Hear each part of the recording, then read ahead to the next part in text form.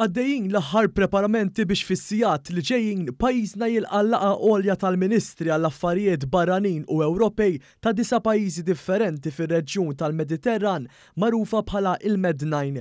Dawn il-laqgħat formali u kruċjali qed iwittu t-triq biex fid-29 ta' dan ix-xahar jiltaqgħu fostna iżjed importanti d-disa' mexxejja tal-Unjoni Ewropea fir-reġjun tal-Mediterran li se jkunu milqugħin mill-Prim Ministru Malti Robert Abela. Miegħu se jingħaqdu l-mexxejja ta' Franza, Spanja, l-Italja, il-Portugall, il-Greċja, Kroazja, Ċipru u s-Slovenja. F'dawn il-laqgħat jiġu diskussi bosta temi komuni li jolqtu b'mod dirett lill-pajjiżi involuti.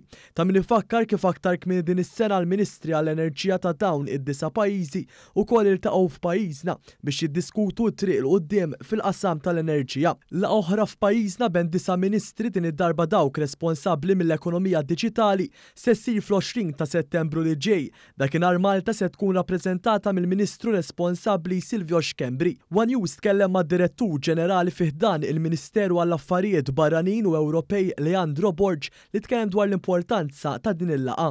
Dawn it-tip ta' laqgħat jirrikjedu xhur twal ta' preparamenti, preparamenti li ilhom għaddejjin saħansitra mill-bidu tas-sena u anke qabel minħabba l-fatt li l-Presidenza Maltija ospitat numru ta' laqgħat taħt it-terminu tagħha tal-Presidenza.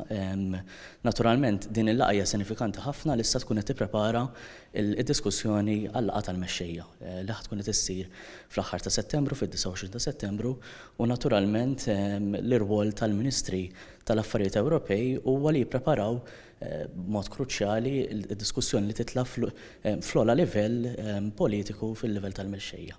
Leandro spjega wkoll x'tinvolvi din il-laqgħa bejn il-Ministri Ewropej, fosthom il-Ministru Malti responsabbli mill-oqsma tal-Affarijiet Barranin u Ewropej Ian Borg. Ovvjament għaddejjin bl-aħħar preparamenti loġistiċi.